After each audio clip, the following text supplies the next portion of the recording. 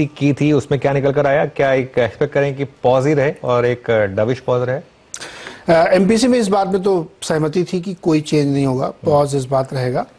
और stand score का भी हमारा सवाल था कि क्या वो बदलेगा? तो उसमें भी सबका लगभग एक जैसा व्यू था कि उसमें भी कोई बदलाव नहीं करेंगे। जून के बाद इसमें थोड़ा सा डिफरेंस था कि जून के बाद होगा या नहीं होगा। तो जून के बाद की लोग कह रहे थे कि शायद रेट कट करना पड़ेगा इरिस्पेक्टिव कि यूएस में क्या होता है। तो ये एक राय निकल कर लेकिन आज की पॉलिसी में तो पॉज है।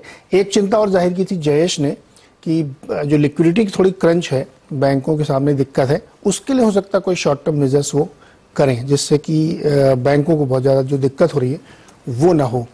तो नॉन इवेंट कह सकते हैं आपकी इस बार भी कुछ खास होने की संभावना नहीं, लेकिन कमेंट्री बहुत इंपॉर्टेंट होगी। अगर रुख में हल्का सा चेंज करते हैं तो फिर वो काफ़ी इंपॉर्टेंट हो जाएगा। बिल्कुल। चलिए, हमारे पैनल को जोड़ते हैं। आप सभी को गुड मॉर्निंग अदिति सबसे पहले आपके पास आ रहा हूँ क्या एक्सपेक्ट करें इस समय पर ऑब्वियसली कोई रेट चेंज या कोई स्टांस चेंज बेसिक एक्सपेक्टेशन क्या रहेगी? थैंक यू देखिए, आज की बेसिक एक्सपेक्टेशन हमारी तो यही है कि रेट में और स्टांस में कोई चेंज नहीं होगी। और मेरे हिसाब से आज का जो टोन होगा, वो काफ़ी बैलेंस्ड होगा, क्योंकि ग्रोथ जिस तरह से एनएसओ ने अपना एडवांस एस्टिमेट दिया है, वो काफ़ी रोबस्ट है और एमपीसी के पिछले फोरकास्ट से भी ऊपर है।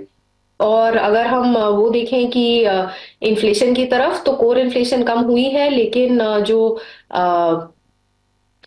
फ़ूड इन्फ्लेशन है, वहाँ अभी भी कंसर्न्स है और ना ही की कंसर्न्स है, लेकिन आउटलुक में भी अभी काफ़ी क्वेश्चन है। तो मेरे हिसाब से ये वाली पॉलिसी में टोन बिल्कुल ही इवन रहेगा। फेड तो मेरे हिसाब से मिडिल ऑफ़ द ईयर तक रेट कट करना शुरू कर देगा। हमें एमपीसी से ये एक्सपेक्टेशन है कि पहला स्टांस चेंज अर्लीस्ट हमें जून पॉलिसी के पहले नहीं दिख रहा और उसकी अगली पॉलिसी से रेट कट शुरू हो सकते हैं। के अगली पॉलिसी से रेट कट शुरू हो सकते हैं। एक बार मार्केट क्या फैक्टर कर रहा है वो बात कर लेते हैं। महेंद्र जाजू भी हमारे साथ हैं। महेंद्र के बाद ऐसे परिस्थिति आपको बनती हुई दिख रही कि रेट कट के बारे में आरबीआई सोचेगा? देखिए मैं एक्चुअली सुनील जी जो कह रहे थे उसको थोड़ा एलैबोरेट करना चाहती हूँ। मैं उनसे बिल्कुल सहमत हूँ। अप्रैल में हमें अप्रैल के एंड में पहला इंडिकेशन मिलेगा आईएमडी की तरफ़ से कि मॉनसून का क्या एक्सपेक्टेशन है। जून की पॉलिसी तक मॉनसून सिर्फ़ शुरू हुई होगी।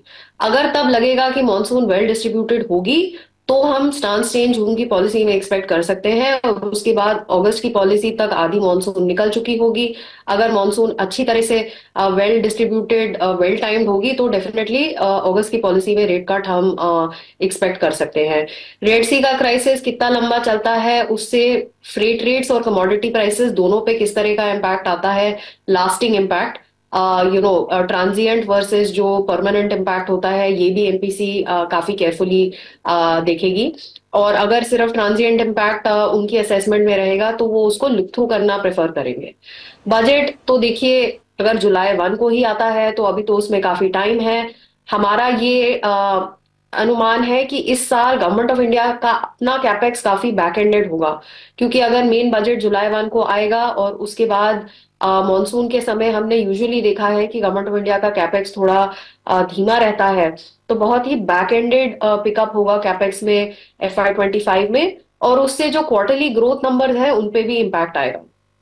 ओके हम्म, अच्छा सुनील सर मार्केट ने बहुत ज़्यादा बिल्डअप किया है पीएसयू बैंकों को इस समय। क्या आपको लगता है कि यहाँ पर पॉलिसी